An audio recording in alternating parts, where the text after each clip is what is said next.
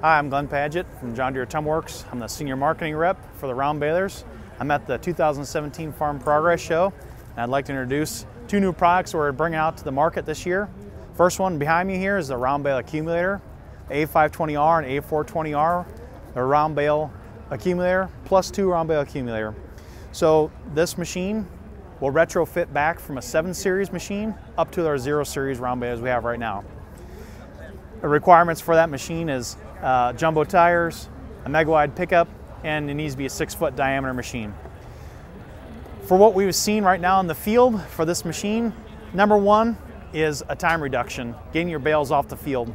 Uh, from the testing we've done, we've seen a minimum of 50% reduction getting your bales off the field.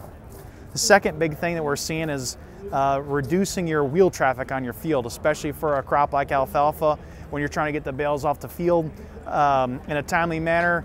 Uh, that when that crop is regrowing, the damage you're doing to the, the crop as you're moving the bales off the field are minimized when you can strategically place your bales in your field that makes the most sense to maximize getting the bales off the field.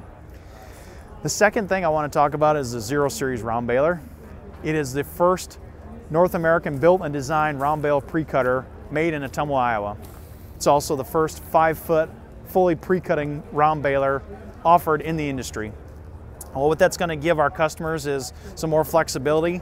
Um, if you're tub grinding hay right now, you can use this round baler to size your crop and put it into a package uh, already at your convenience there at your farm.